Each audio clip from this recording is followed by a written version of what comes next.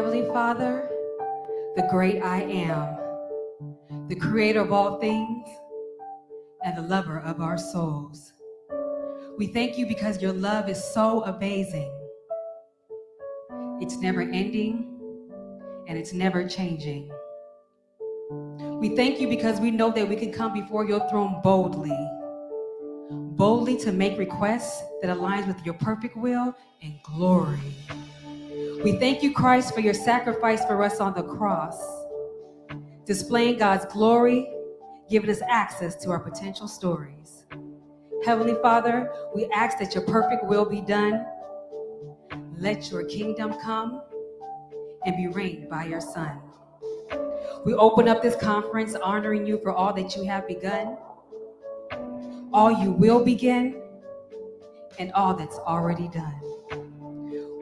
We ask that you take control of the atmosphere now.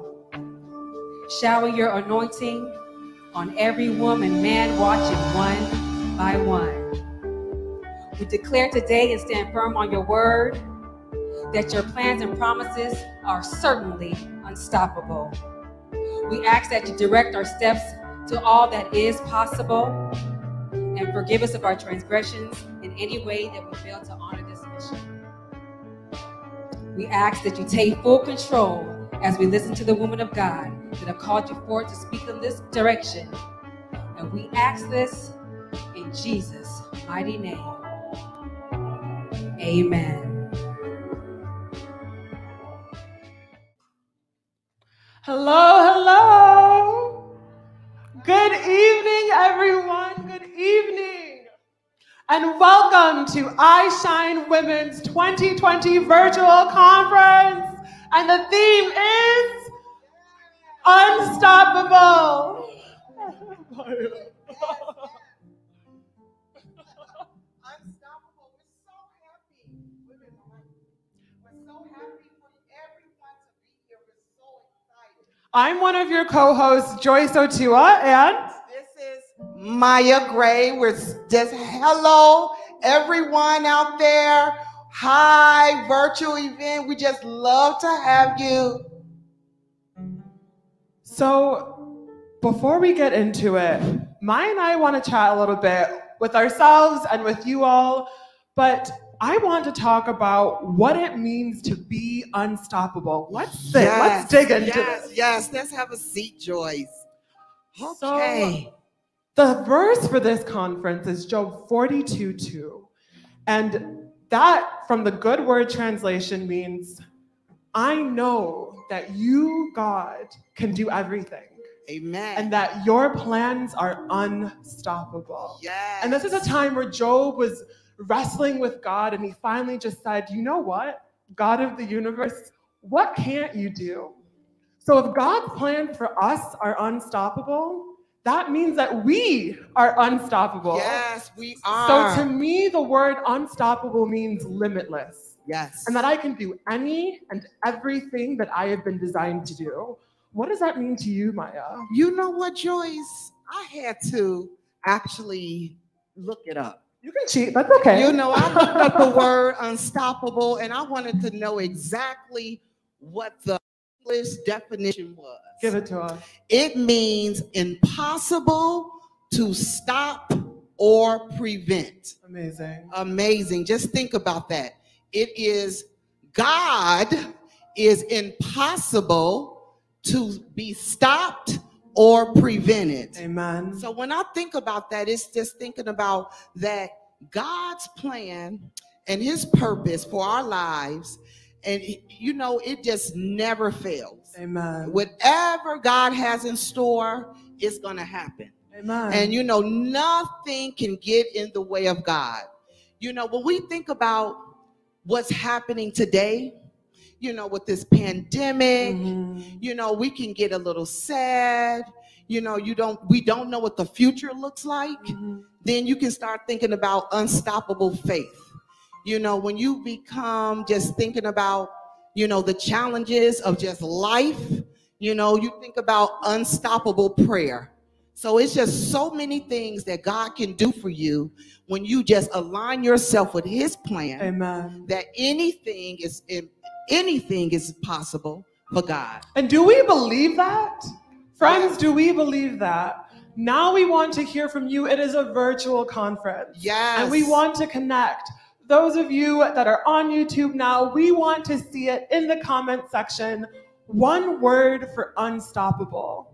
Also, if you look in the comment section, there'll be a link to a website called Polls Everywhere. And you can actually click on that link and give us one word for unstoppable. And we uh, can see where people are saying, where they're tuning in from. Yes. So give us what you're saying. Unstoppable faith, I Yes. see from Yes. Shola. Yes. That's exactly what you were talking Yes. about. Yes. You know what? Think about unstoppable love. Unstoppable prayer. Oh, you know, think about unstoppable love. You know, God's love never stops.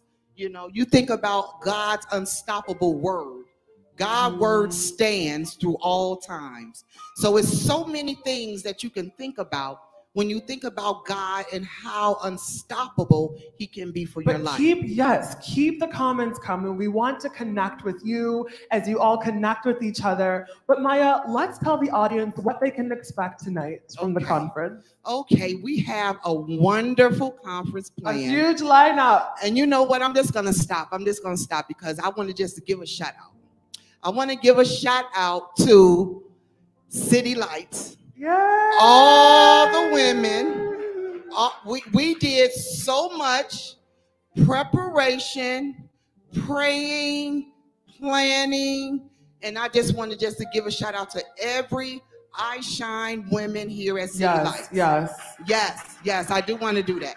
Okay, so let's go down to the agenda. So, what do we have um, ready for you tonight? So, first of all, we're going to do a vendor showcase. So, we're going to be able to showcase um, plenty of women um, showing their entrepreneurship.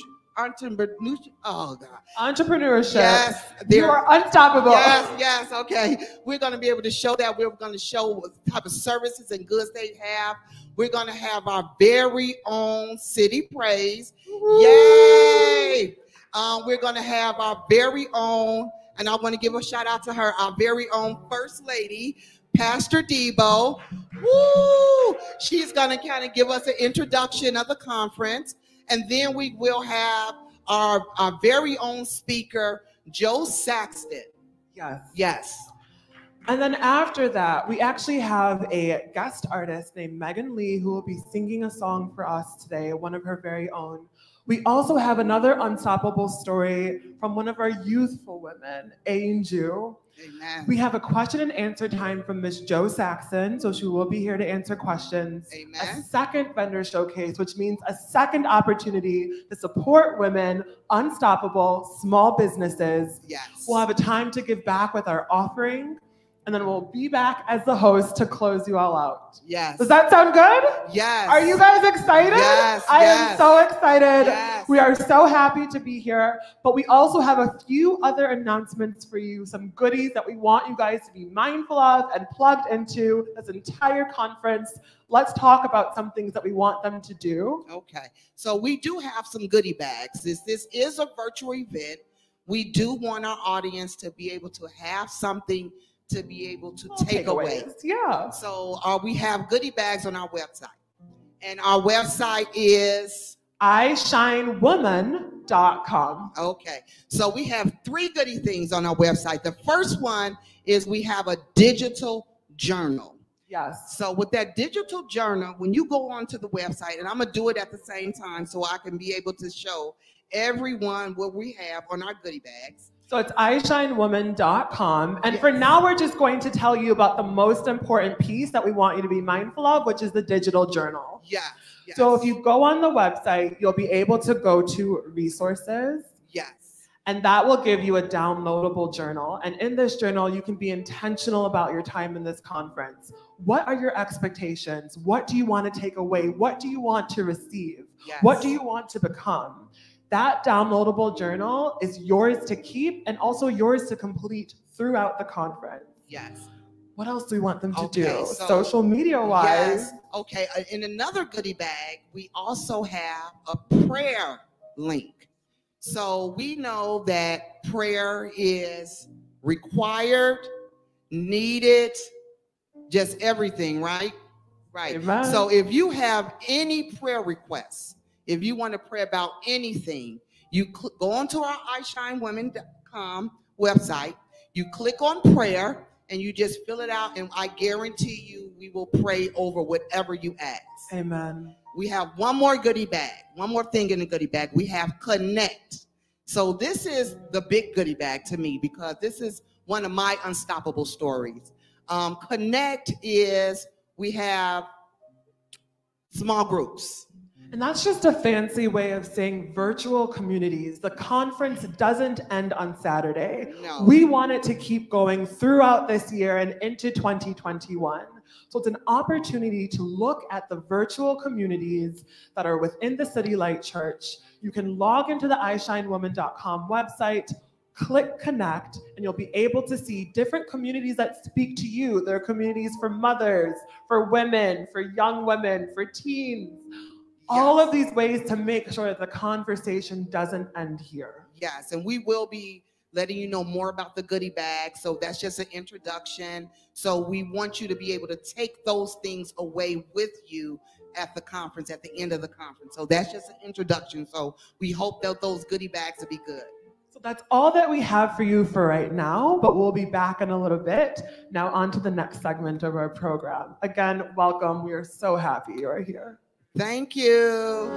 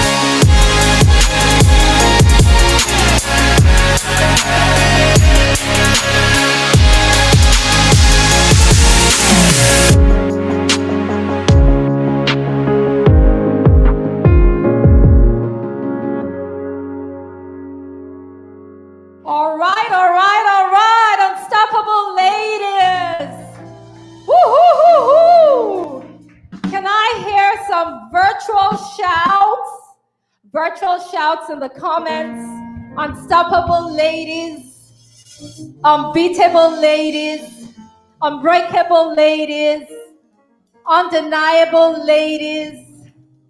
Amen. Amen. Amen. Oh, Amen. I am so excited. I don't know about you, but I just feel like doing a hundred laps around the building. Let's do it. Yeah? or maybe just jump. Woo! God is awesome. Why don't you just lift up your hands wherever you are right now? Let's give God praise. Let's give God praise because He deserves all the glory, all the praise, all the adoration. God has been amazing from the beginning of this conference, from the time that He sowed the seed, from the time when He began to put it in the hearts of different people, from the time that He began to raise an army who will publish the word, publish the vision. God has been amazing and unstoppable. I am Debo Ichiwala, and this is my awesome husband, unstoppable husband. Uh, what's my name? Gregory Lion Ejiwala. This is my unstoppable wife.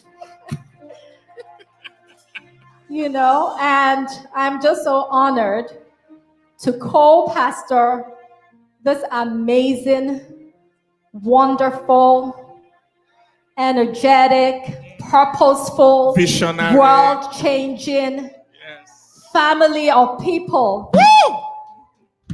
The best bunch of people in this whole wide world. I tell you. I am I am not biased. I'm just speaking the truth.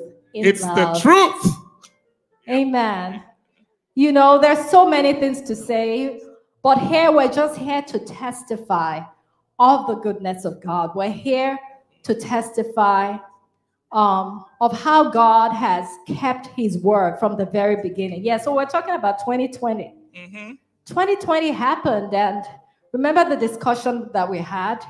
And I was like, you know, we're actually going to have this conference Yep. this year hmm you know, a virtual conference was something that people kind of warmed up to during the pandemic. But It's, as one of, we it's one of the latest inventions. yeah, as we know, it's not an easy thing, right? So there was that discussion. Will we have it? Mhm. You know, and Pastor Lan, like he always is, Pastor Lan always declares the end from the beginning. He's like, you go for it and get it done. Because if God has spoken that word, he'll bring it to pass. Yes. And truly, that was all that I needed. God spoke the word, He confirmed it. And guess what?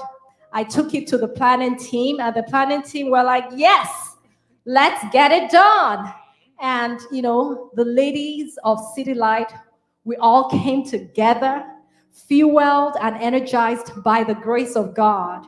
And here we are today. To God be the glory. Hallelujah. You see, the Hallelujah. I Shine Women's Conference is a vision that God sown in my heart somewhere around 2011, so about nine years ago. And He said, My need, I have a need, I have a desire to see women who will not be limited by insecurities, who will not be limited by obstacles, Yeah. who will not be limited by their busyness of life. How many of you know we we women we are multitaskers? You guys, uh, You the, way, know? the way you guys do it, I don't know. in the in the baby factory, you know, I mean, Corona season was really very yes. interesting. We had Women a lot are of. the, God show ninth babies. wonder of the world. I know we Yes. are. So, you know, tons of God show babies. So, you know, we women, we're always doing something, always doing something. And in the middle of life, when life happens, you know, I've, I've talked to many women over the course of time.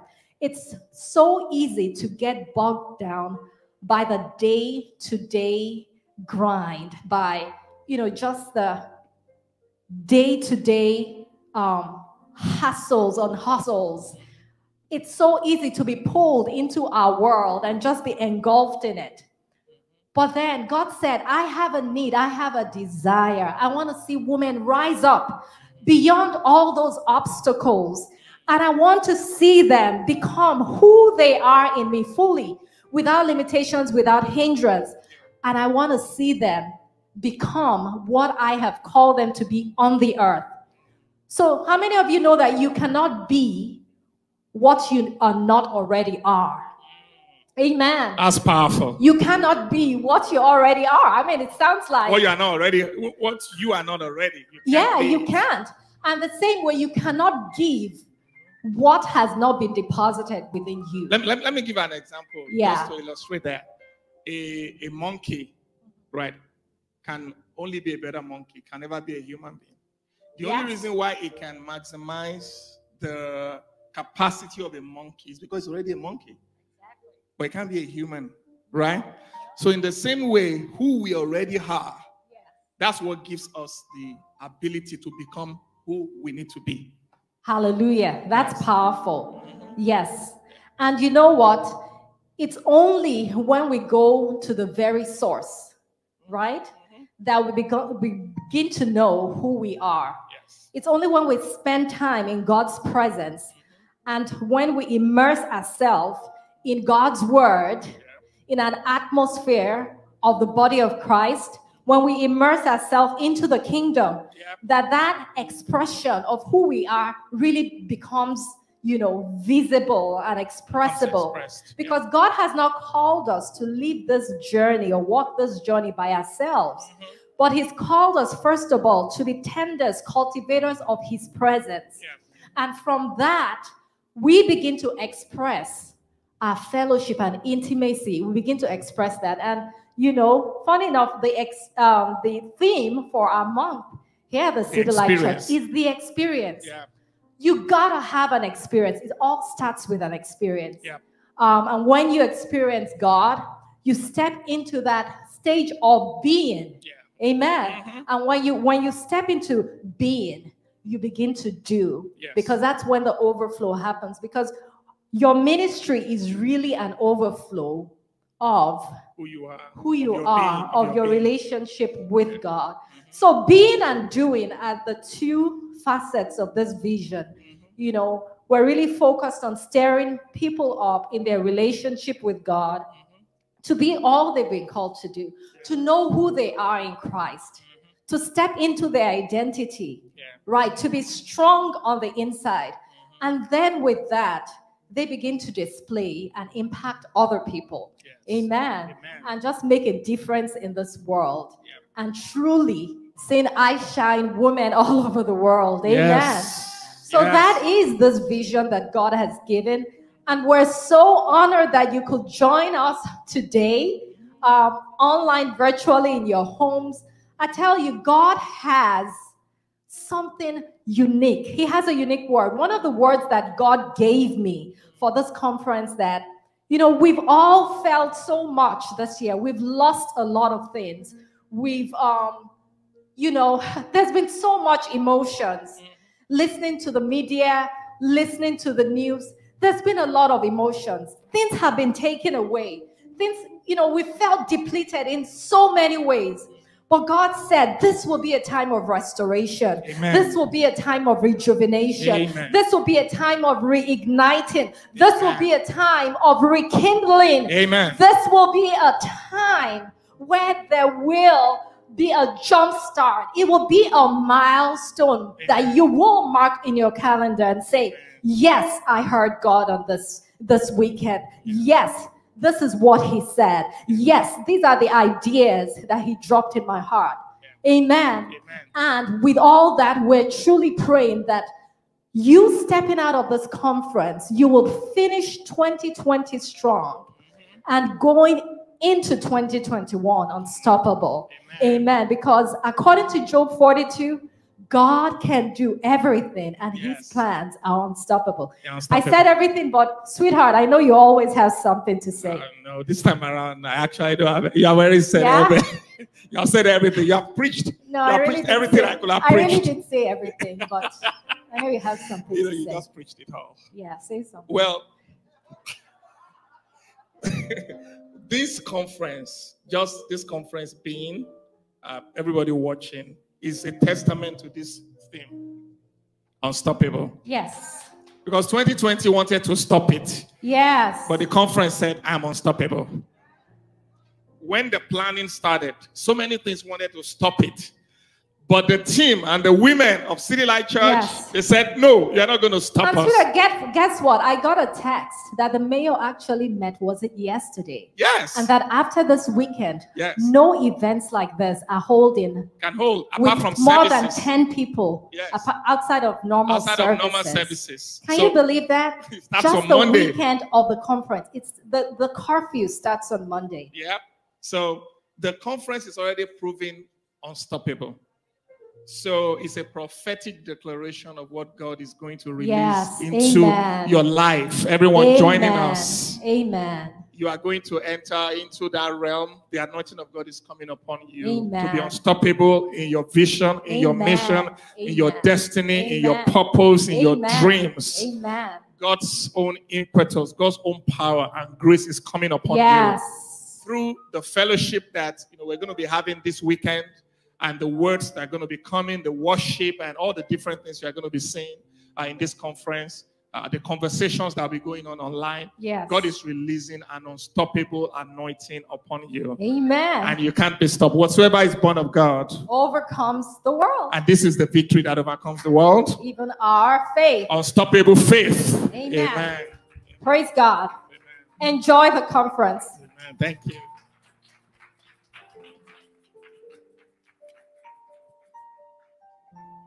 Two and twenty-three says, because of the Lord's great Lamentations 3, 22 and 23 says, Because of the Lord's great love, we are not consumed, for his compassions never fail.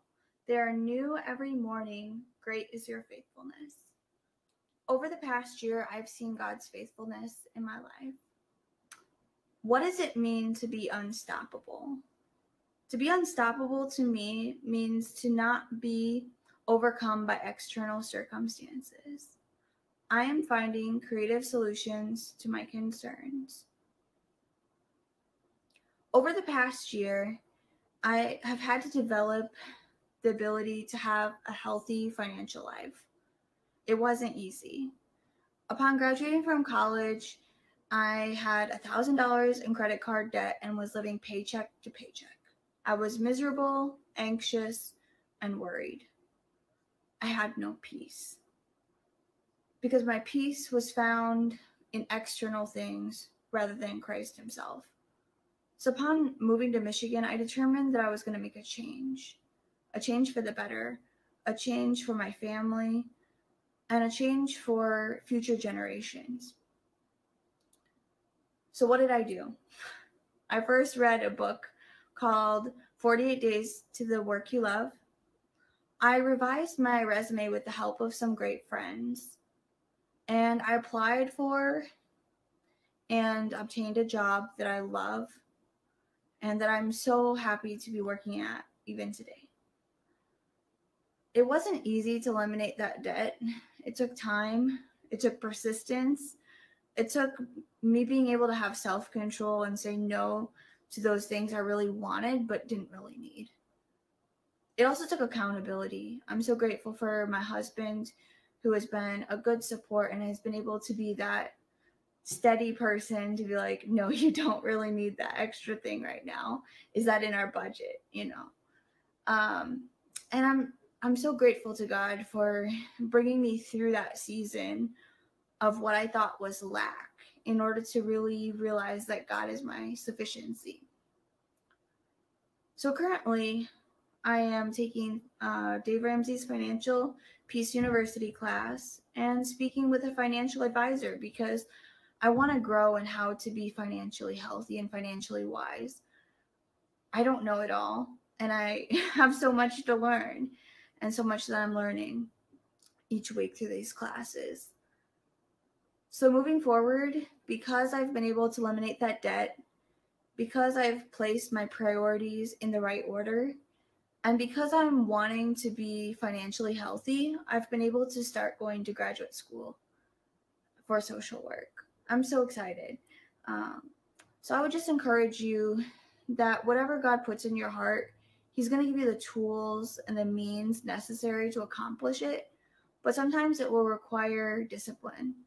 It may require sacrifice, and it may require, you know, the ability to put your needs in front of your wants.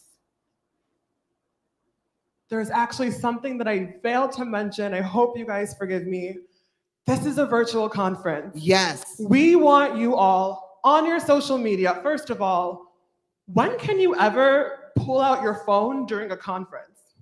Have you ever been to Um, conferences where that was permissible? Yes, just, you know, wait a minute. This is the selfie era, right? This is the year of the selfies? The Is this the selfie year where we're on lockdown? We're all at home. Right now, we're giving you permission to pull out your phones and take a selfie with the hashtag iShine20. You want to take a selfie now? I think we should. So iShine20 is a way that you can take a selfie Yes. and post it to your social media platforms. Yes. Have you ever heard of a social wall? On the social wall that is also accessible on iShineWoman.com, you'll be able to see the entire virtual community hashtagging and selfieing with Yes. you. But before we continue, Miss Maya Gray? Let's take a selfie. Let's take us a selfie. Let's take a selfie. Okay, one, two, three, say I shine. Y'all can't see it now, but it looks super cute. It looks the way it looks right now in person. So we, we want them to take a selfie and post it on their um, social media. with the hashtag iShine20. We also have another goodie.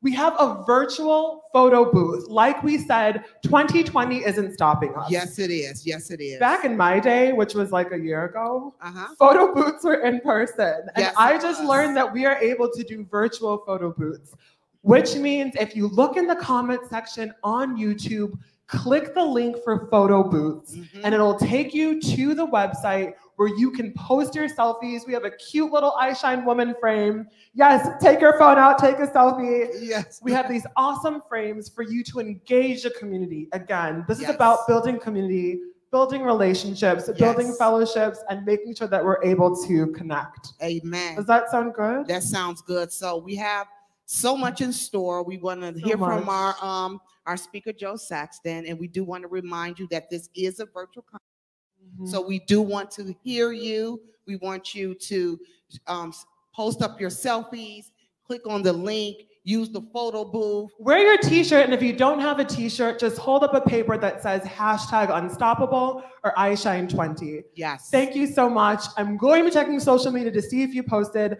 but for now, we're going to hear a word from our speaker, Ms. Jo, Joe Saxton. Saxton. Thank you. Jo Saxton is an author, international speaker, podcast host, and leadership coach. She has dedicated her career to growing leadership teams around the world and empowering women to find their purpose in their personal lives and in leadership. Born in London to parents who immigrated from Nigeria, Jo credits her family's unrelenting work ethic and the grace of God for the bold and tenacious approach she takes to sharing her wisdom on identity, influence, and living an authentic life. She's characterized by her effervescent honesty and warm approachability, leaving audiences with practical next steps in areas that are usually a bit ambiguous. In her new book, Ready to Rise, Own Your Voice, Gather Your Community, Step into Your Influence, Jo tackles the real life issues women face workplace harassment, sexism, low self esteem, financial woes, power battles, and old wounds. She helps them to move beyond the disempowerment and together grow their grit. While providing meaningful wisdom from her own journey to leadership, Jo also adds stories of empowered women from the Bible. Readers will be empowered to change their landscape and build new communities where diverse female leadership can flourish. Join me in welcoming to the iShine Women's Conference 2020, Jo Saxton. Hi, everybody. I'm Jo Saxton, and it's a real privilege to be with you. I'm so sorry that we can't be together in person. I'd have loved to have done this face to face. But I am so glad that in this way, even if it's a strange way, that we get to unpack the Word of God together. I am not from around here. I am a Brit. I grew up in London, in England. My family are Nigerian. I've got two teenage girls, husband called Chris, and we live in the Minneapolis area. Um, I am struck by your theme, unstoppable, drawn from Job chapter 42, verse 2, where it says here, I know that you can do everything and that your plans are unstoppable because it feels like this year everything has been forced to a stop. It feels that this year, um, if ever there was a verse that was tested, this was it. So, what I want to do together is go through one of the chapters of the Gospels. It will actually be Matthew chapter 14, where we see Jesus and his disciples on a journey where there are interruptions again and again and again and again. We're going to focus on one particular interruption, but the goal of us looking at these words together is to say, what tools can we get from the gospel showing us in these times when life is forcing itself on us, when situations are putting us under pressure? God, by His power, His grace, and um, and His mercy, will help us keep moving forward. Because I believe that even in these uncertain, ever-changing, pressurized times, God will work His purpose out for us. God has not forgotten us. God continues to see us. God is still moving. God is still moving in yours and my life. And we just want to get in on what He's doing and be where He is. But before I even get to that, I'd like to share a story. A couple of years ago, I went to see my mum. Um, who lives in London still, and we were taking her out for her birthday. We'd been in England for work, and we just had a short bit of time together. I wanted to take her to her favorite restaurant, her favorite Chinese restaurant, which was in our neighborhood. So as we, as we drove into the neighborhood, I remember saying to my husband, "Don't worry about the GPS. I know exactly where we're going. This won't be a problem." Except that as I drove on the street, everything had changed. Where there used to be a grocery store, there was now an embassy. Where there used to be a store I was familiar with, it was another thing entirely. We drove around the neighborhood and I pointed my husband to places that we could go, but the roads had been blocked or weren't roads anymore, or they would fine you for being there for two minutes. Nothing made sense. In the end, and it was the very end, we arrived at the restaurant late late because nothing was familiar. And I remember complaining to my mum saying, What's wrong with this place? Everything has changed.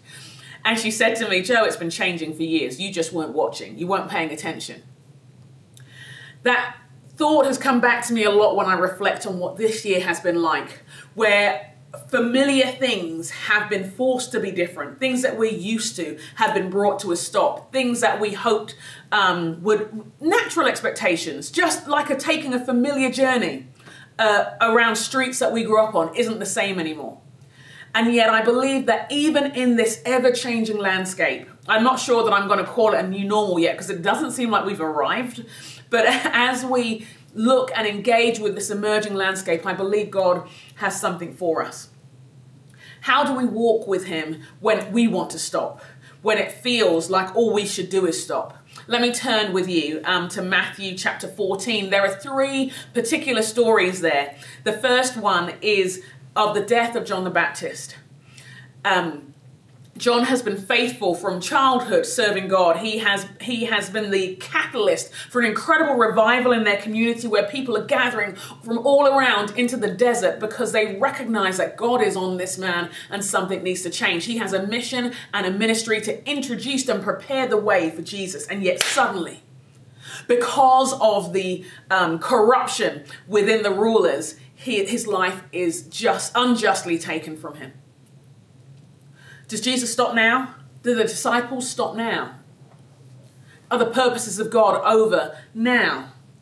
Well, what we see happens is at that point, Jesus retreats um, and he retreats to pray. He pulls away. The disciples pull away. And in many ways, when we look at this year, um, we may find that circumstances have interrupted us. We may be wrestling with shock and grief and loss of proportions that we couldn't have deemed imaginable.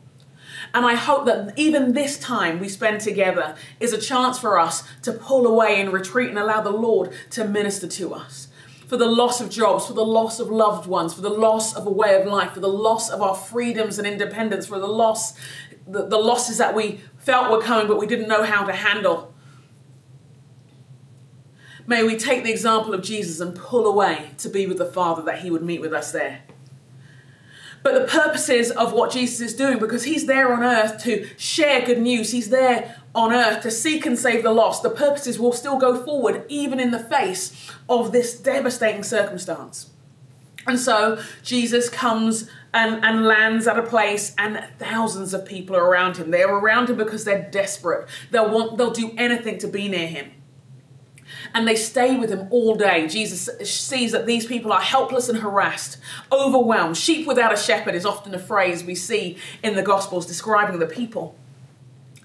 The disciples, and let's remember, some of those disciples had missed um, John too because they had followed John first. The disciples like Jesus, can you get rid of these people? That we, we can't feed them all. And in that moment, Jesus tells them, Well, you go find them something to eat. Can you imagine the overwhelm? that maybe this is the end of the road. This is the end of the road. And all they have is five um, loaves and two fish. And Jesus says, Bring it to me. Bring it to me. And he transforms it. So that may be part of our, our journey where we see the purposes of God unfold maybe you're overwhelmed. And it feels silly to say maybe you're overwhelmed because we know we've all been overwhelmed by these circumstances. And maybe you feel you just have five loaves and two fish in your hands to pay your bills, five loaves and two fish in your hands to work out how to educate your kids, take care of family, check on extended family back home, make sure things get done, hold on to your job. And I believe that Jesus is saying to each and every one of us, bring it all to me. Like he says in Matthew 14, verse 18, bring it here, bring the little that you have. Where you feel like you're at the end of the road and that th- at this point you can do no more. Where you feel at this point there's nothing left for you. Let's, let's see how Jesus can transform that. Transform your circumstances, transform your situations. And so I ask you, what do you need to bring to the Lord where you think, God, it's done? But God says, my purposes aren't finished yet. And so Jesus takes this place of desperation and longing and hunger and he makes it a place of abundance. And I believe that's his promise for you and I. But the story I wanted to really hone in on, and it felt inappropriate to not even mention the rest of the chapter, which is why I started there. The story I want to hone in on is a familiar one to us, and I'm going to read it to you. It's from Matthew chapter 14, verses 22 through 23. So we know John the Baptist has been murdered. We know that Jesus has fed 5,000 families. And then here's what happens next. Immediately after this, Jesus insisted that his disciples get back into that boat and cross over to the other side of the lake while he sent the people home. After sending them home, he went up into the hills by himself to pray. Night fell while he was there alone. Before I even go a second further, you see this rhythm of prayer in the midst of all of this pressure that Jesus is doing there. He keeps on pulling away to be with the Father. And I think for you and I, as we think of our journey, that's going to be a key thing. Moving on. Meanwhile, the disciples were in trouble far away from the land, for a strong wind had risen, and they were fighting heavy waves. About three o'clock in the morning, Jesus came toward them, walking on the water. When the disciples saw him walking on the water, they were terrified. In their fear, they cried out, It's a ghost! But Jesus spoke to them at once. Don't be afraid, he said. Take courage. I'm here. Peter then called out to him, Lord, if it's really you, tell me to come to you walking on the water. Yes, come, Jesus said. So Peter went over to the other side of the boat and walked on the water toward Jesus. But when he saw the strong wind and the waves, he was terrified and began to sink. Save me, Lord, he shouted.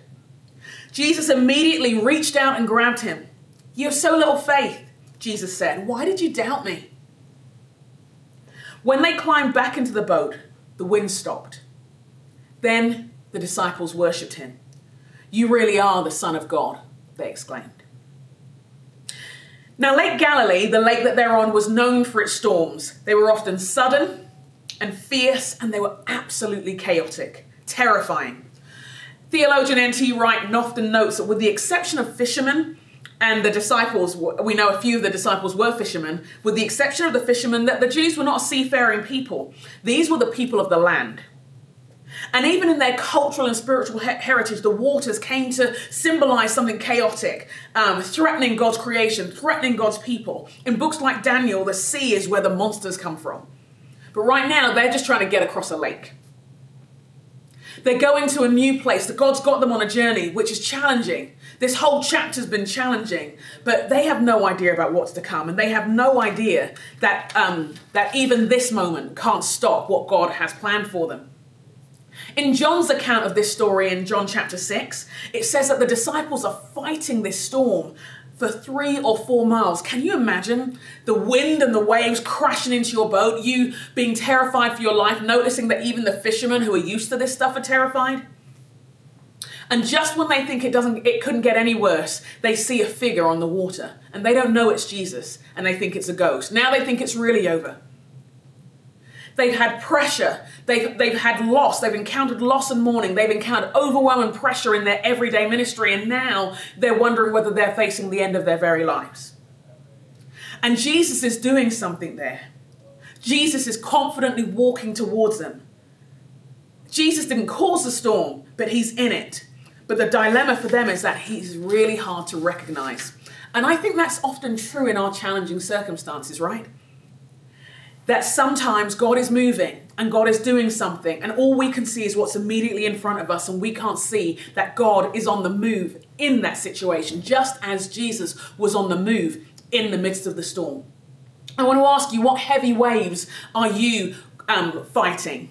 Maybe you feel like you've been fighting um, and struggling for, for miles now, in the same way the disciples were, were struggling throughout the night, thinking that this was the end. Maybe for you, it's been mile after mile after mile of devastating circumstances, challenging circumstances where there seemed to be no way. Can you see Jesus in your storm?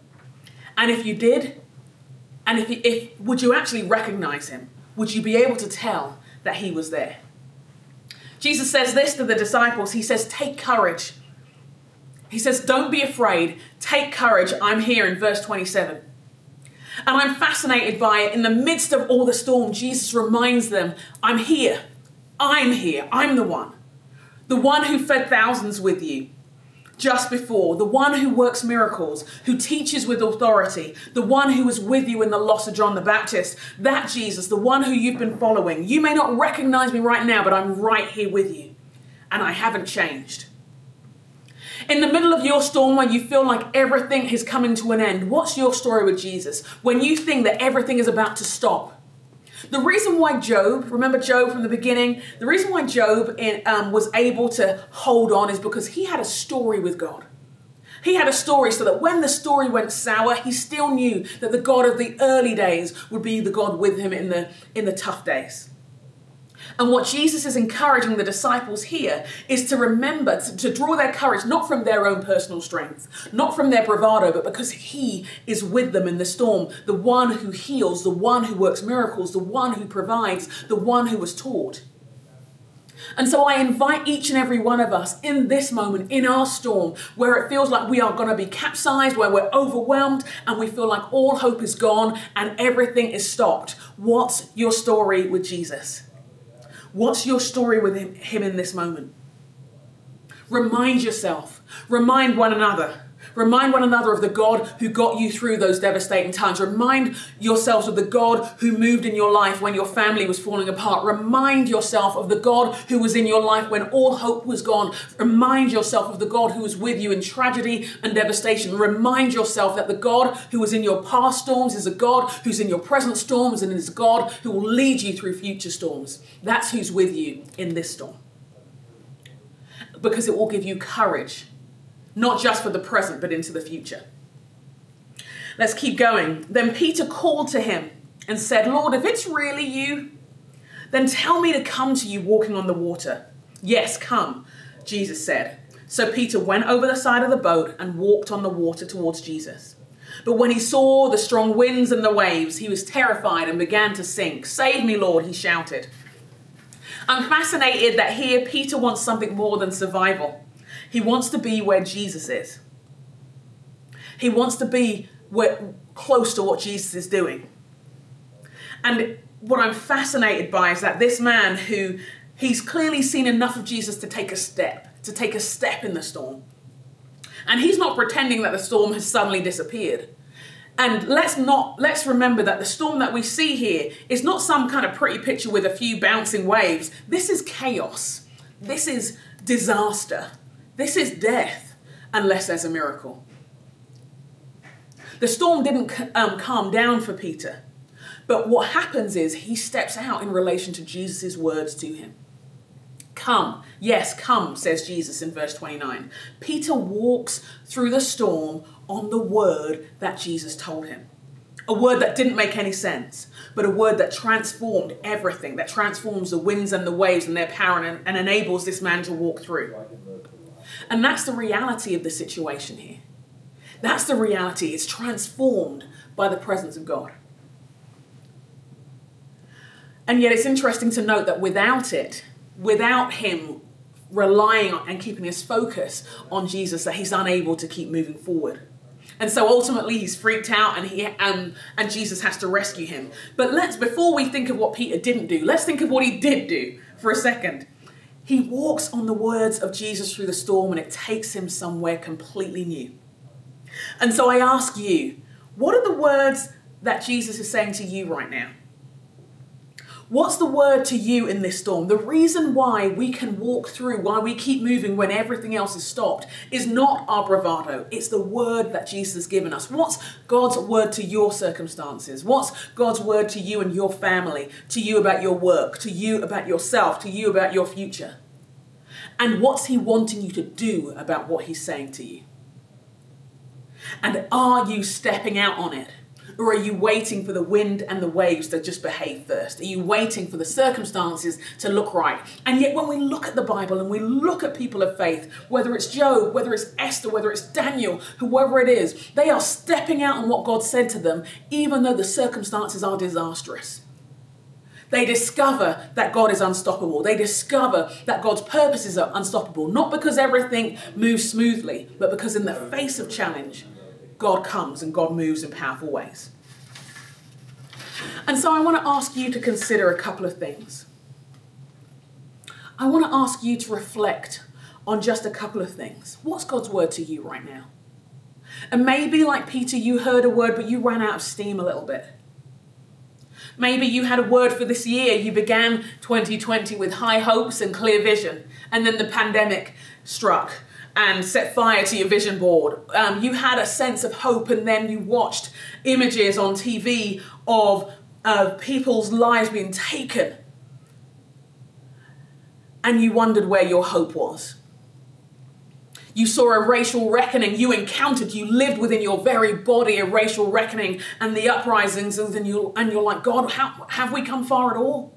What's the word that you have held on to, but you are struggling and you're wondering if that word's run out? And I want to encourage you to press in for what Jesus' word is to you right now. What happens next is this in, in verse 31 Jesus immediately reaches out and grabs him. You have so little faith, and the sense of that in um, the translations is almost like you've run out. It's like you, you've run dry of your faith. Jesus said, Why did you doubt me? When they climbed back into the boat, the wind stopped. Did you notice that he had to keep on walking back? This time he's clinging to Jesus. When they climbed back into the boat, the wind stopped. Then the disciples worshipped him. You really are the Son of God, they exclaimed. You ran out of steam. Maybe you didn't know Jesus had got you. But what I love about this is in the midst of the storm, even if it feels like all is gone and, and, and peace is like it's over, Jesus reaches out and grabs him. Jesus pulls him up. And now Peter walks back clinging to Jesus, more dependent, but now they walk back into the boat together. And I love the fact that when Jesus gets in the boat with the disciples, everything stops. For some of us, maybe we are able to step out and see God do amazing things. But what we see is the grace of God coming into our boat right now and transforming our circumstances still. Maybe you've hit something of a wall and you can't hang on and you can't keep doing this for yourself. And yet, here he is meeting you. You know, this moment matters. The moment we're in matters because Jesus is offering you more than emergency care. He is moving things out of your way so you can keep going. You see, the disciples were on a journey. They were on a journey to get to the other side of the lake. And when they got there, God was doing amazing things. He was bringing healing and deliverance and freedom, and the message of the gospel was going out. But there was battle and there was struggle and there was um, difficulty and grief and loss all along the way. Would they give up or would they walk on what God was calling them to? We have no control over the circumstances we're in. I think this year has taught us that in all kinds of fresh ways. But this thing is true God's hold on you is stronger than your hold on Him, and He has no intention of letting you go. So when you feel that your purposes and, your, and God's purpose for you um, is overwhelming, take courage. Take courage in these words, and let me uh, let me scan back the entire chapter with you. In the grief and loss, pull away to be with Him and let Him comfort you when you feel like there are all these demands um, hone, um, falling all over you and all you've got is the equivalent of five loaves and two fish and it feels inadequate, bring them to Jesus and let him transform them. And if you're in the storm, what's his word to you? Walk on his words to you. And may we be able, like Job, to be able to say this I know you can do everything and that your plans are unstoppable. Why? Because we've walked with God through it. Why? Because we've seen Jesus in it. Why? Because Jesus has led us through the storm, through the struggle, through the suffering to a place of breakthrough. Let's pray together. Father God, I do want to thank you for every one of these women. And Lord, I thank you that you see their lives and you know their story. And Lord, I ask that you would meet them in their storm, you would meet them in their struggle, you would meet them in their suffering. Lord, I pray that you would bring a great deliverance and that they would be reminded in practical, tangible ways Lord, that you can still do all things and that you are faithful and true and that your purposes for their life remain unstoppable. We ask this in your name for your glory. Amen. Yes. Powerful word. Such a powerful word. Maya, Such a- could you tell the audience what your takeaways were? you know what? If I want to just sum it up, my takeaway was just to bring it to Jesus. Amen. You know, when we're in a, a time that is uncertain, you know, when you s- take it to the source and you, you know, you entrench yourself in the word, you can begin to walk on the water. Amen. You know, you begin to go to Jesus. So Amen. it was so many good takeaways. I appreciate the word, but my my thing is is take it to Jesus. Amen. Amen. I love that takeaway. And another thing that I was really moved by by the speaker is that they never said that there weren't going to be storms. hmm No one is denying that 2020 hasn't been difficult, right? Yes. No one is denying that there hasn't been chaos and trauma and death and pain. But what we are saying is that in God, we are unstoppable. Amen. That even though the storms rage and the winds blow, and we have our five loaves and our two little fish, Yes. In Him we are unstoppable. Yes, we are. So if you cling to the Father, you don't have to do it in your strength. On your own, you can be stopped. Yes, you can. But thank God that we're not on our own. So, like you said, take it to Jesus. Take it to Remind Jesus. yourself of who you are in Mhm. Christ. Yes. And no matter the storm of this year, you will be unstoppable. Yes. Believe it. And that's the only way that you can receive it in faith. Amen. But what's Amen. also wonderful that is even though Miss Jo Saxon isn't with us in person, she is still available for our question and answer section in the comment section. Drop your questions and answers. And there's also a phone number that you can text. So get ready 312 970 1662. That is 312 970 1662. Text your questions that you would hope that Miss Saxon could answer for you. Think about them and let's connect with her because I know that there's more that we can dig into. Yes. With that being said, be thinking about your questions, but I want to call up to the stage right now a woman I've come to love and adore, Miss Yes. Megan Lee, as she sings a song. Thank you, Amen. Megan. Hey guys, this song is called Not Today and it is performed originally by Hillsong.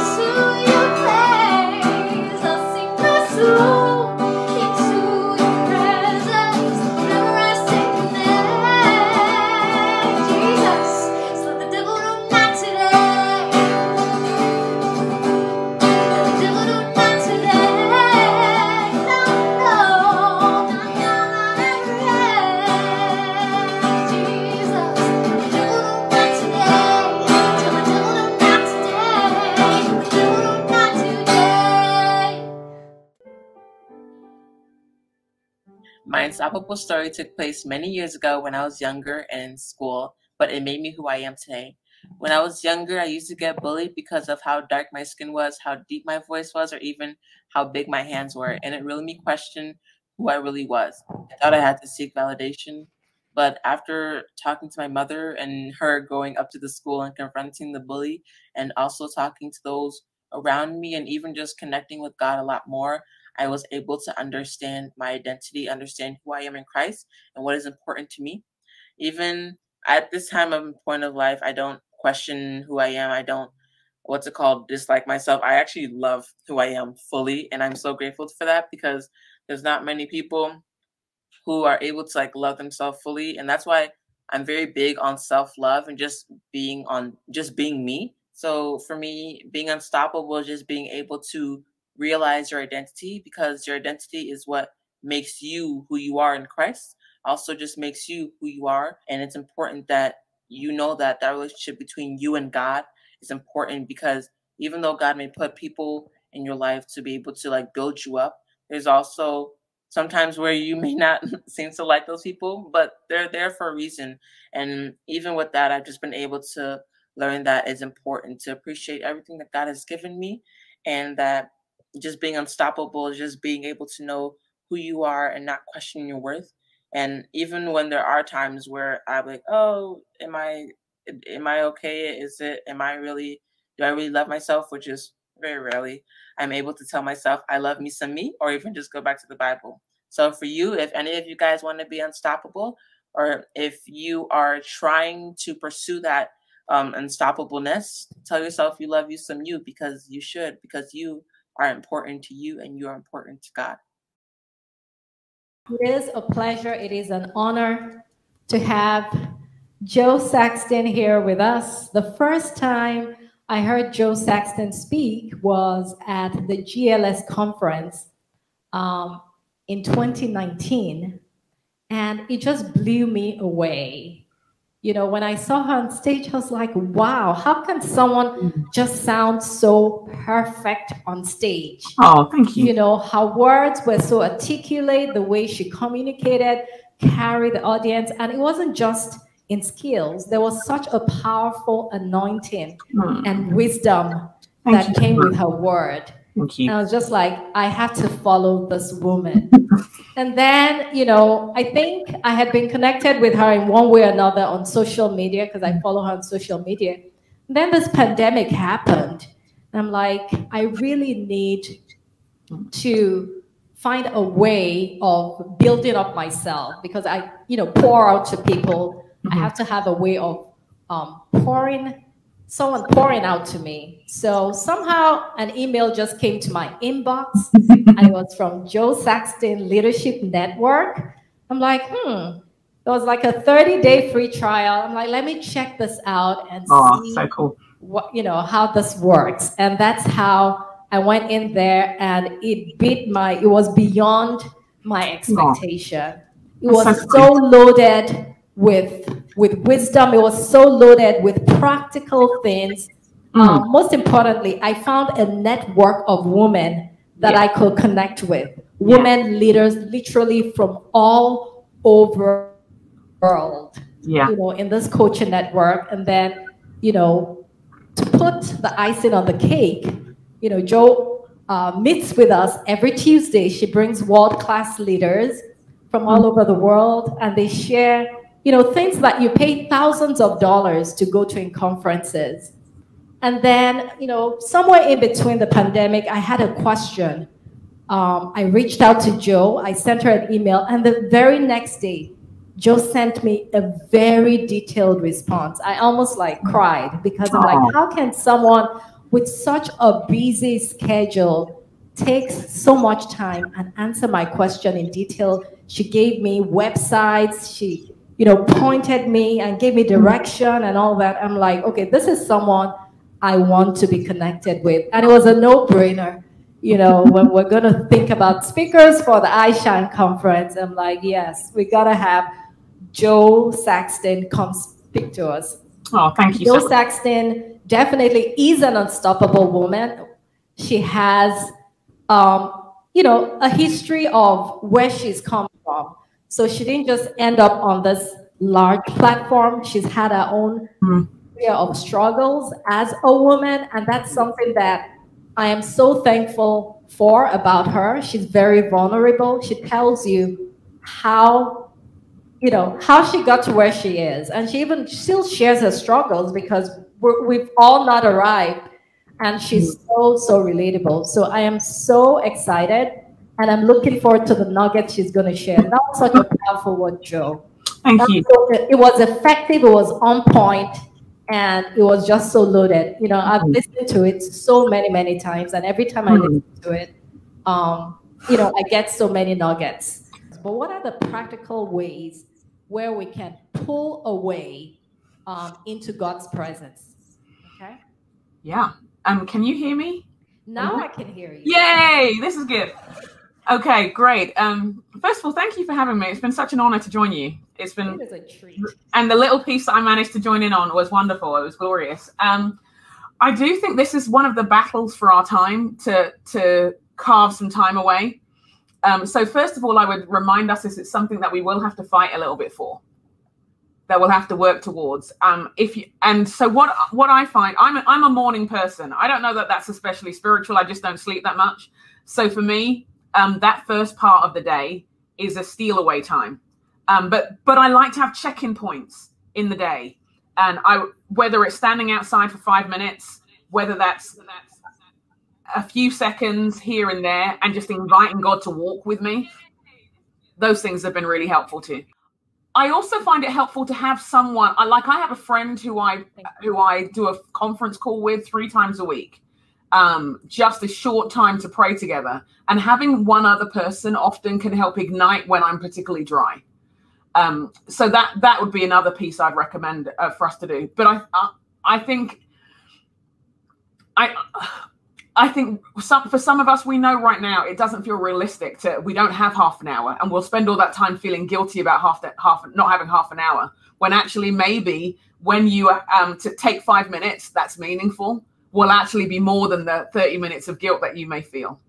Um, so I would if you're walk if you get to get outside um, invite the Lord with you. If you that moment before you go to sleep, I'm not good at spending time with the Lord before I sleep. That is like an invitation to nap. So, so that. But if you're a nighttime person, that might be a moment. When my children were very young, I just locked myself in the bathroom and let them sit outside um, because I was healthier. I they they were just the kind of background noise. Um, but but there are some prayers I just pray through, like where like I might as I start the day, I might be "Oh, Lord, come by your Spirit and just invite him, invite him, invite him, and I invite him in the dif- in the difficulty of finding him as well. Wow. So basically, just bare yourself out to God. You know, there's no need to pull on any covers. God already sees who you are. And make sure God is in everything you're doing. Like, Yeah. Along with you. Right? Yep, absolutely, because it is a relationship, and sometimes with our relationships, we're able um, we're able to carve out lots of time, and other times we're not. And and I would I want lots of time, and that, but it ebbs and flows, and particularly in this moment when everything that's been normal to us has been dismantled. So it's okay that if you if you're like the way I used to do it wasn't working. And so rather than weeping over a world that no longer exists, I start looking at the world I'm in and say, okay, what works right now? What and I in this moment I'm finding some small segments during the day has helped significantly. Um, like I pick a book to a book of the Bible to read and just read a chapter and then go about my business. I have a, my kind of playlist on YouTube of worship songs that I listen to, and I'll play them in the background. Just little little things have helped, and ha- they've kind of watered the ground of my faith. But I think one of the key things is raw honesty as well. Raw honesty, Honesty. because I God already knows who you are, right? Yeah, and because you could spend hours trying to go through the motions, reading the right things, praying the right prayers, but your heart not be there. So, I, so in this moment when we're under such pressures, when we're feeling such demands, when we feel, if we're honest, too busy for time with God, that honesty is actually still seeds into that relationship, and will yield a harvest as well. I love that. I love that. Just being vulnerable before God. Mhm. You know, and I'm reminded of that scripture that says, you know, and when when we are weak, in He is strong. That's Mhm. you know, Paul said, "I'll rather boast in my infirmities, so Yeah. that Christ's power may rest upon me." Mm. That's that's amazing. Thanks for sharing that. So, you know, just a little incident here. How do you focus on Jesus in the middle of the storm? So, you know, your message was all about focusing on Jesus, right? Peter fo- as long as Peter focused on Jesus, he Yeah. was unstoppable. He was able to walk on that word that Jesus gave. Mhm. But in our day-to-day struggles or in our day-to-day walk, as we walk this journey out, as we walk it out, and even looking back this year, it's been so hard. Yeah. I tell you, to focus Yeah. on Jesus. You know, everywhere you turn to, it's it's bad news. The media, Mm. um, just so many things going on. How do you fight for that focus? What are some practical things that you do? Yeah. You know, Yeah, no, that thank you. Um, I, I mean that that passage from the Bible that I shared with you has been I've kind of been in that scripture in in that chapter for since March because that was the first thing when I remember saying, God, what do I do now? What do I do? What do I do now? And that was the chapter that has come to me. So the practical things that have helped me focus have been has been asking God, what's your word? Is there a verse from the Bible that I just keep on coming back to? So right now, for the last for the last kind of 90 days of the year, it is Matthew 6, I think it's 33. Seek first the kingdom of God and his righteousness, everything else will be added. Now, I'm reading other things, but when I get distracted, and it's a when, not an if for me, I'm always distracted by something. I come back to that, an- that anchor verse and say, How am I walking on that verse today?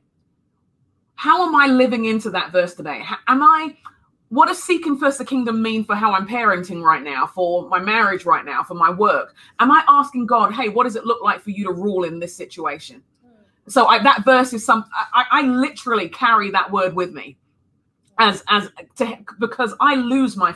I'm not one who focuses very well. I'm like I'm like a butterfly. I'm here. I'm there. I'm doing this. I'm doing. I'm excited. It's Instagram, and then I'm hungry and I need a snack, and then I need. do you know what I mean? All of these things. So I, I need anchors like that. That helps me focus. Then I think the other question is how can I serve? For me, and it's probably because I'm an extrovert and because we've been a lot more isolated, I need a kind of back and forth with God. I need a question. To, so I need a word to walk on that gives me focus. I need I need things that will bring me into focus. You know, like when you have um, binoculars, you need to adjust to get the focus.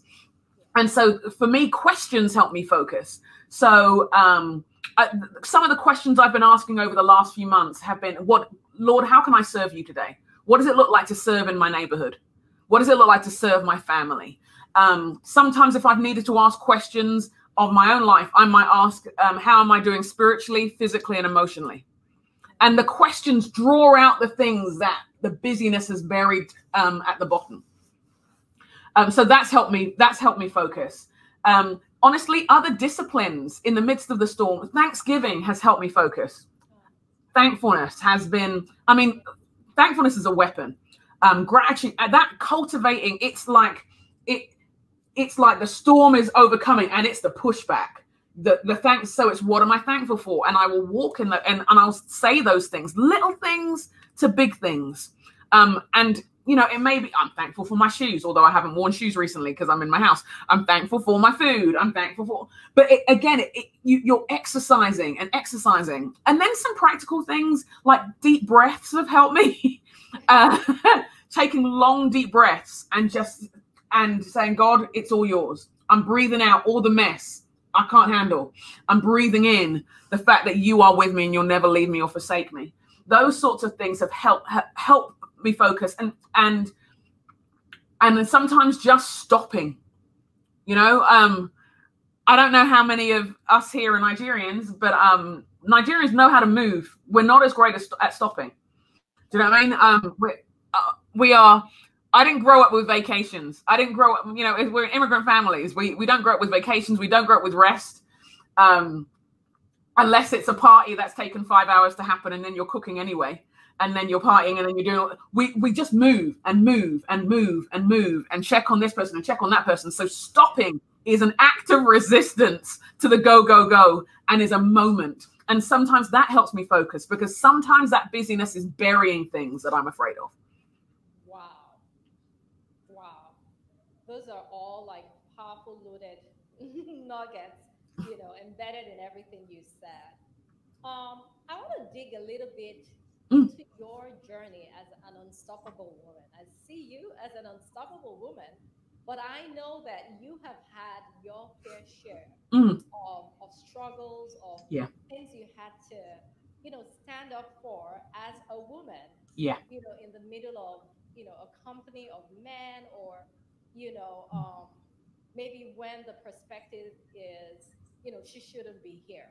Yeah. You know, what what is that kind of mindset that you need to have as an unstoppable woman and what kind of mindsets have you cultivated over the years? Yeah. You know, maybe you have like some guiding principles that you can share with us yeah tonight. No, it's been it's been crucial because I've seen the opposite in my life when I have walked into a room and felt I needed to please please people, when I needed to prove myself, when I tried to become someone else to fit in, it's never gone well. It's never gone well, and it's burnt me out. It's exhausted me. It's been oppressive. Um, I think there have been a couple of things I've needed to know whose I was as well as who I was, because when you know whose you are, then you have nothing to prove and nothing to defend because you're already loved you're already loved and um and then the stakes change the risk changes now i don't want to be reckless i'm not i wasn't raised to be reckless but what i'm what i'm saying is that the that then when you're not welcome at a table rather than the enemy whispering in you whispering in your ear telling you that you're like the journey is done that you're that it's stopped it's over then you know the devil's a liar because the lord will prepare a table before you in the presence of your enemies. You know uh, because you know whose you are. You know to whom you belong that he is your stronger covenant partner who stills the wind and the waves who um, went ahead on your behalf where um, all of those all of those pieces have have been a, a huge that helps the mindset. So when i'm when i'm nervous or when i'm insecure i have to ask myself have i forgotten whose i am who i belong to? What's my testimony? Again and the thankfulness comes back into that for me. And then have I forgotten who I am, what God has placed in my hands to do, and what He's gifted me to do? And um, we know that struggle is part of the journey. We just know who's um, doing the fighting for you, and and who's going ahead of you. So I think, and it has been a discipline. It really has, because sometimes you walk in and you're like, Lord, I know that I'm yours, but everybody around here would like me elsewhere, would like me in another situation. So I would like you to physically turn up or something, strike something down, and make me feel better. So it has been a discipline to keep reminding myself and to keep on stepping out courageously and remembering. I think, you know, one of the other mindsets has been remembering that courage doesn't always feel courageous. It doesn't always feel it. It's an active thing. Yeah. Those things have helped a lot. Wow. So know whose you are and who Yeah. you to. And that births confidence in you. Yeah, because that's your foundation. That's your foundation. Imagine if you all the things that we were called to, all the things, the dreams and the thing, or the or the challenges that our families faced, you did from the perspective you were already loved by God. He not even just loved, already approved of, already proud of you. You had already done enough. You were already A plus. You were already a doctor or a lawyer, you know, or an engineer. You'd already done it. That's the that's the baseline with us and, and the Lord God. Yeah. So it's no need trying to become somebody else, right? You just have to unveil who you already Because he he made you that way. He he gave you those gifts. He gave you that identity. It was not a mistake in his mind. It was a delight. Okay, awesome. So I hope you guys are sending your questions in. Uh, there was a question that just popped up. What role has community relationships placed in your ability to live unstoppably? I think it's I think it is like almost your secret weapon on one level. Um, having healthy now when healthy relationships, not toxic ones where someone's weird with you and jealous. That's not helpful. But healthy relationships where people love you enough to cheer you on and love you enough to tell you about yourself um, and to challenge you. It, you know, the people who strengthen your hand in God um, and having having safe places. Now, we not everybody is that for everyone, but you need some, some who you can pray with, some whom you can say, "Today is a bad day." Someone who can remind you of when you've forgotten whose you are. They can say, "Come on, remember whose you are," and uh, and they're in your corner. I think that's a huge part for us. Yeah, community is very important. Mhm. Now, I remember one of the coaching sessions that I was part of. You know, you mentioned um, the fact that you must have your close knit circle. Yeah. You know, people. I think it was one of the um, one of the speakers. Uh, people you have actually invested in. You've made deposits in those relationships, so that when it's time to withdraw, Yes. um, so can you can you can you share about building those relationships? Because many of the women sometimes I know I struggled with Mhm. trying to find um, like close knit friends. You know, you you especially when you start building a family and you're so much into your world. You know, maybe you lose like old relationships. Yeah.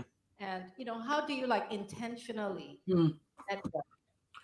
Yeah, and I think this is a hard one. I, I'm really glad you raised that question because it is. I think it is difficult. When we were at school, you don't, you know, someone just put you in a classroom. That was it. That's how you met your friend. You thought there was anything else, but your parents enrolled you. That's how it happened. Um, now I have a practice where every year I pray about who to invest in. You know, there's a bit in the scriptures where you see that Jesus prayed all night and then came down and chose the 12 to be with him and to preach, not just for the task, but also the relationship. So I've, I've made it a prayer priority now to say, okay, God, who are the people I need to spend more time with? Who are the um, people I can um, reach out to? And I just obey. I try to obey. if, the, if a name comes to my mind, then I'll, I'll invest in it and I reach out to people. Now, um, I try. The, the, the thing is with with things like relationships, Yeah. you need some kind of predictable pattern. You need so many, and and honestly, on all the questions we've uh, we that have been wonderfully shared tonight, so many of our battles are won and lost on our rhythm. How regularly it's that person who's just hitting that wall until it falls down. So you can have one. It's not enough to have one deep and meaningful conversation with that person. You keep on coming.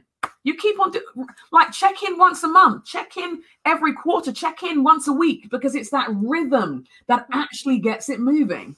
Um, and, and it's that predict uh, predictable check-in, and the, and there's a lot we can't do right now. There's a lot we can't do, but Marco Polo still exists, Voxer still exists, WhatsApp still exists. You, we use those things to cultivate relationships. And and I tell you the other thing we can do is shift our expectations so that we we give ourselves a goal of developing it over a year, not over a month, because we're busy. So it's not like a, a microwave. No, no, no. Relationships have to be built over time. And I, you know, one thing I picked up was intentionality. Yeah, You have to be intentional about it. You have to take the initiative. yeah, Many people are waiting to be sought out. yeah. You know, they're waiting for someone to come be their friend, but Really. This you isn't Disney. Yourself friendly, right? yeah this ain't disney. We're not waiting to be rescued here you know? And and when you think about it we when you think of the impact i'm sure every person here can think of somebody who has fundamentally impacted their life for good. Someone who's brought something great. But we can also think of those people who have not been the most helpful.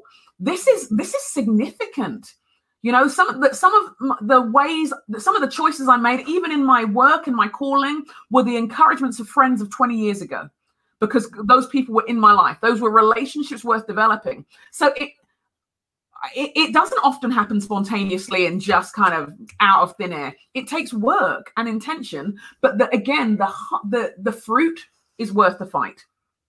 Wow. And I'm seeing that we're almost running out of time here, but I was wondering if there are any other questions Mm. um, that our audience has online. Just go ahead and type that in. Um, but, you know, also drawing from that unstoppable journey that you had, I know that you changed locations, Mhm. right? Um, you had been in one type of culture. Yeah. Um, different, very different culture. You actually, I mean, you're Nigerian, so that's one culture. Mhm. You grew up in the UK. Yeah. that's a different culture. you live in the US. Mhm. How have you been able to just, I guess, pivot or you know adapt Yeah. and thrive in all those different kind of cultures? Mm. Um, it has been strange and hard. it has been, str- as, as I'm sure many of you would attest to. Um, I think there has been three pieces. Again, that intimate relationship with God, of reminding myself that I am His and not hiding. I, I've never done well when I've hidden a piece of me. When I, it's not like I'm going to hide that I'm Nigerian. It people work it out in the end, you know. And, and until I was married, it was evident in my name anyway. Um, But your I- maiden oh, yeah, Oh, Okay. Yeah. Awesome. I know I miss it. I miss it. um, but uh, I, I, what the the twists have been. I guess part of it has been, Lord, how will you take these changes that I didn't expect and make them your superpowers? Do you know what I mean? How will you? How will? How will? How will I bring the ways that you've wired me, the threads of my story, for your glory in this other place? you know i think that's what we have as we it's it can be it, i mean it is lonely. Um it is it is there are lots of things to get used to and and like you say ada- adaptations. But i think what has been consistent has has been one that intimacy with god and the, what you said actually about weakness that god's power um, is made perfect in our weakness i've seen a translation which is god's power comes into its own it, it's like it's like tag god takes over in our weakness. So that's been an important thing. Having healthy relationships with people has been another piece and keeping my eye on his mission because if if I'm going to leave my people behind, we're going to get things done here. Do you know what I mean? I didn't leave them. I didn't leave my home. I didn't leave my family. I didn't leave my world just to play.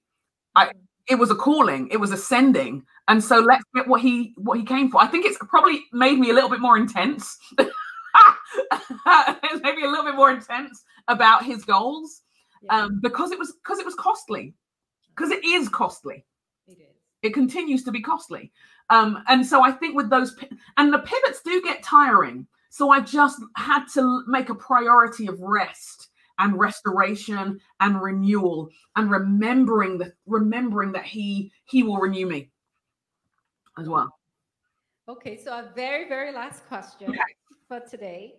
What are practical ways to get out of your own way and overcome your doubts Mhm. that you're not going to mess things up when Mm. opportunities that Yeah. you think are bigger Yeah. than you are brought to you? Wow, that's Yeah. a mouthful.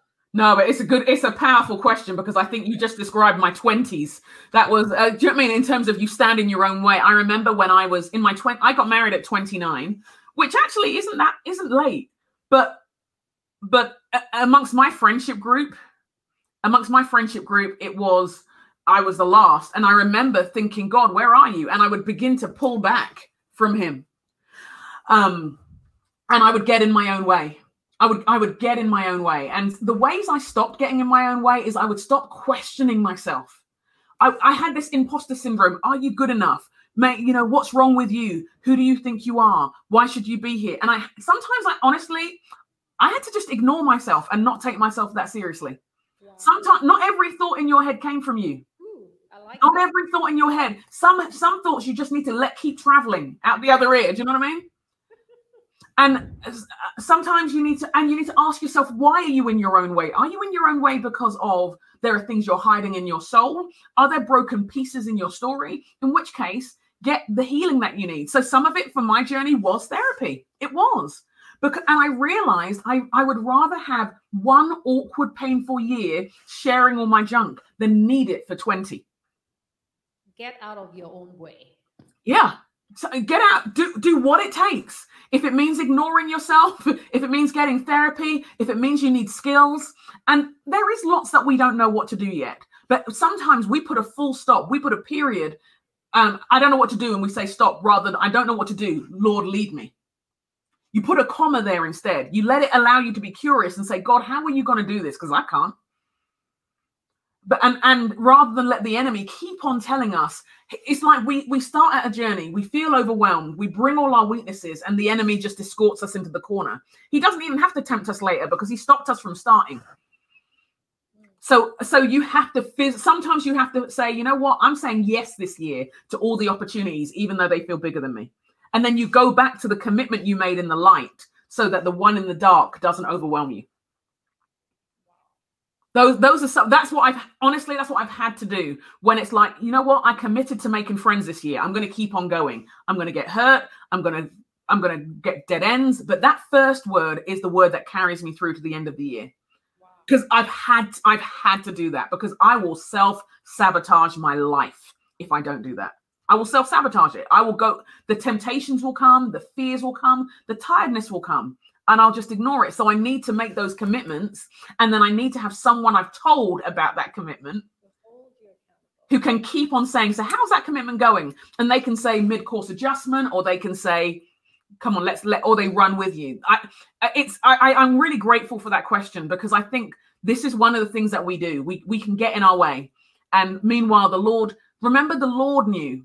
The lord knew how he wired you. The lord was not shocked when he made you was not shocked when he gifted you so when he gave you those opportunities they were for you to grow into Wow. Okay.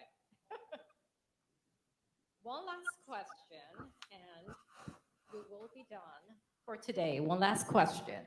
So, what is one thing that you would tell your old self that you wish you knew about living as an unstoppable woman?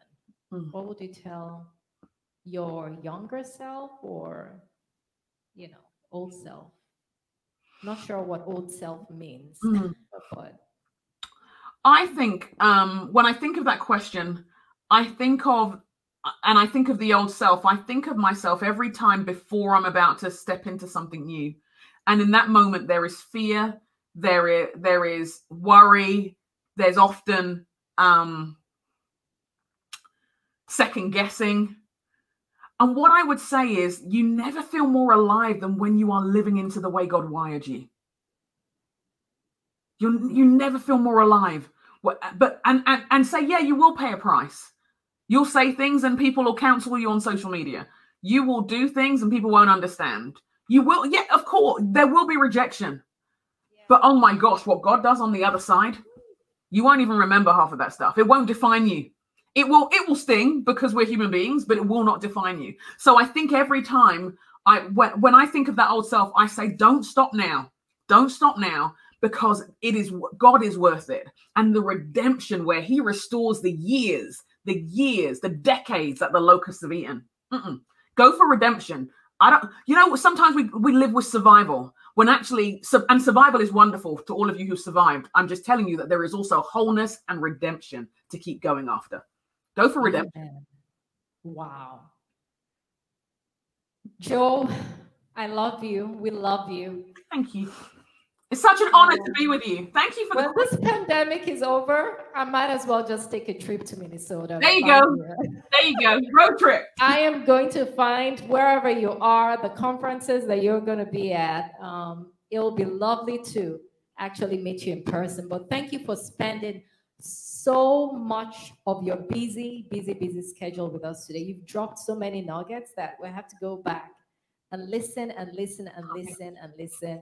You know, for those writing notes, their notes are full um, because God has graced you with so much practical wisdom that we can use in our daily living. And we just pray that out of all the deposits and everything you've shared today, that God will multiply it back to you and he will replenish you Oh, in you. Jesus' name. Amen. I receive it. Amen. So um, it's been a pleasure with you, having you. Um, so I am going to be looking forward to um, subsequent coaching sessions with you. Yeah. Come Um, on. Yeah, I'll see you next Tuesday. So thank you again. Thank you again, Jo, for joining us today. It's been a real treat.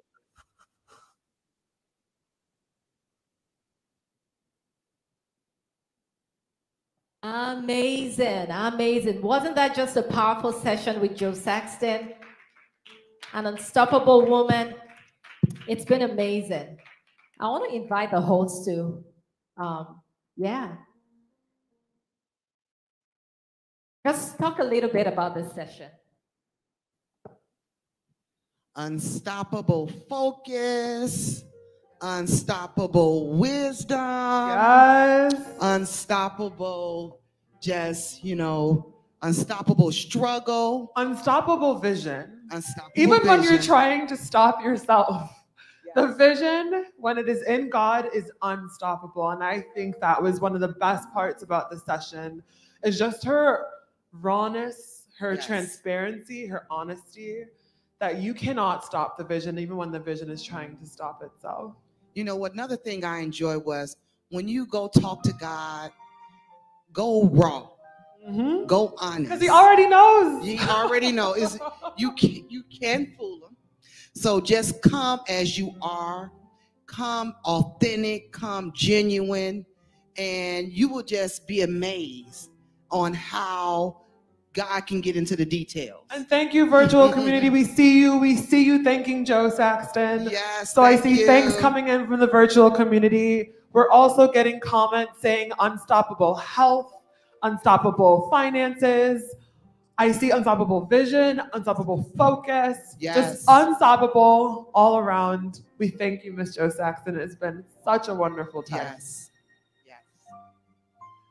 Now I think we will have our Vendor showcase. yes. So stay tuned for more ways to sup- stop, support these wonderful, unstoppable women.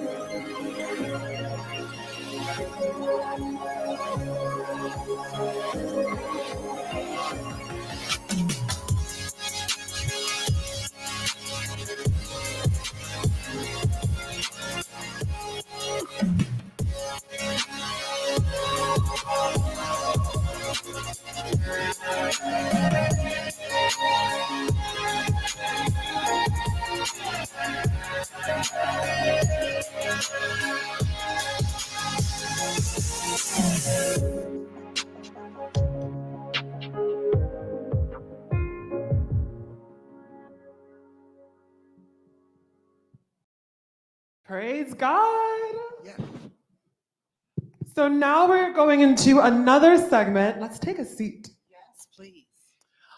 The second to last segment, and I think it's the most important, Miss Jo Saxton talked about how Thanksgiving is a weapon Yes. and a way to give thanks, a way to show appreciation and support causes and events such as these is to offer up your offerings. yes. And we have awesome ways that you can give and continue to support women, our conferences, and our mission to connect women so that they can reach their full potential power in their homes and in their communities. Doesn't that sound awesome? yes, it does. It does. So let's talk about the different ways that you can give.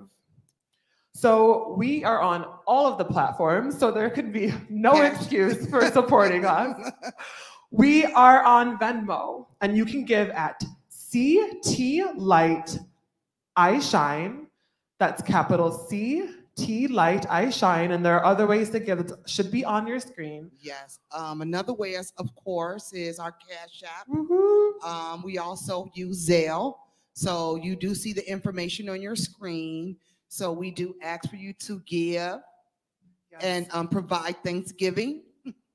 Right. Um, and you know, it will be very much appreciated. but um, ways to give is always ways to show a, a, a little snapshot of your heart. So that's what I always think is your wallet is your heart. Right. And as you give, you gain. It's the law of input, output. As you receive, you should give out. And as you're giving out, you also receive. So there's no loss in the kingdom, right? Exactly. Praise God. Exactly. What an awesome time. You know, it was a wonderful event. You know, we started off kind of giving a definition of what unstoppable means. Yes. So, you know, after the event, um, you know, I kind of said that, you know, what the definition was is that, you know, nothing can stop God. And this and this virtual iShine event proved that for me. Absolutely. Yes, it did. So I really enjoyed the event. I hope the audience enjoyed the event. Um, don't forget, you can continue to drop your unstoppable stories, Yes. unstoppable um, hashtag. Give us your comments right now of some of the things that you were taken away from today's event. But speaking of unstoppable stories, we have an announcement to make. Okay. Oh yeah, we do. we sure you know, do. We do have some unstoppable stories Woo-hoo. that came on our um, website. And we do want to acknowledge and provide a gift. I believe it's a gift card. For our winner. Yes. Oh, what is our winner? Let me So our winner is named Nakia Young, and she gets her first prize as an Amazon gift card that will be delivered to her um, directly, Okay. which is awesome because she shared her unstoppable woman story. Amen. And a part of her story, I don't know if you know, but she was actually cyber attacked twice in one week. Despite these attacks, she remains unstoppable. And you can get more information about what she does as a certified life coach at nikeayoung.com. That's N I K E A Y O U N G.com. Congratulations. We're seeing some congratulations from the community. Everyone put your hands together for Miss Young. Yay. Thank you for those who did participate and shared their unstoppable stories. Yes, yes. That gives me to another point. Through the struggle, how can you be unstoppable? Right. I want you to remind them of our goodies on our website. Okay, that's a good one. That's a good segue. You know, on our website, you know, through the struggle, and we're gonna, it's, um, I believe it's Connect, Yes. and we have a list of women's small groups that you can be a part of. Mhm. Because one thing we want to say is that you do not have to go through it alone. and you shouldn't. No, you shouldn't have to go through it alone. So if you go on our website, we have plenty of small groups. Yes. That way you can connect. Mhm. Um, you can also find ways, you know, we, we were asking questions. How could you focus on God through the storm? Mhm. You know, one of my unstoppable stories is my small group because being in a small group, you just open up. You get to get healed. Yes. You get to, um, you know, gain sisters. Share get your to- burden. Yes, and it's a free zone, you know, and it's just a lovely place that you can connect. So we encourage you to go to the website, Yes. click connect, Mhm. review all the small groups, join a small group, and I'm gonna give out a shout out to every last woman here at City Lights. Yes. All women should be a part of a small group. So you should always join a small group because you know it will create an unstoppable story for you. Just plug into a virtual community because the conference does not end tomorrow. And remember, there's a resource tab where you can journal, map out a plan for what you want to leave this conference taking. And finally, we are your community now. You are stuck with us. Yes. Submit a prayer under the prayer tab. Correct. How can we serve you? How can we pray with you? We are so ready, willing, and able to lift you up in prayer. We're so happy that we have this family join us. Aren't you happy that they joined Uh, us today? thank you so much. Everyone, much. wherever you are, give a round of applause for yourself. Yes, A round of applause for God. yes. Maya and I believe that He is doing unstoppable things in your life. And we want to remind you about tomorrow. Yes, day two. Woohoo! Well, first of all, let's just give a shout out to day one. Day one. Day one was yes. wa- it was unstoppable. You know, we had some challenges, but We said calm in the storm. yes, we can't. We stayed calm in the storm. Uh, we were able to. We hope we were able to um, inspire and just to bring out the unstoppable plans that God had for you in your life. So we really, really hope that that accomplished. Our goal was accomplished with that. So we do have day two tomorrow, and it starts at 12:30, I believe. one o'clock.